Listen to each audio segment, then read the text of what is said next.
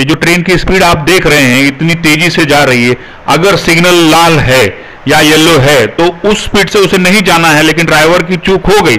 तब ये ये जो देख रहे हैं आप, ट्रेन प्रोटेक्शन वार्निंग सिस्टम, ये ट्रेन को ट्रेन की स्पीड रोकता है या तो परमानेंट ब्रेक अप्लाई करता है। कैसे करता है? जब ट्रेन जो गति दी गई है, उससे तेज भाग रही है तो ये इंजन के नीचे के सेंसर को तुरंत सिग्नल भेजेगा कि भाई आपकी ये स्पीड है स्पीड पे आपको जाने को नहीं कहा गया है या आपको रोकने को कहा गया है तो तुरंत क्या करता है ये ये सेंसर, इंजन के सेंसर को सिग्नल भेजेगा और सेंसर फिर ब्रेक अप्लाई कर देता है है ना? तो इस प्रकार से ये काम करता है। बहुत अच्छी चीज़ है। Train protection and warning system कहा जाता है इसे।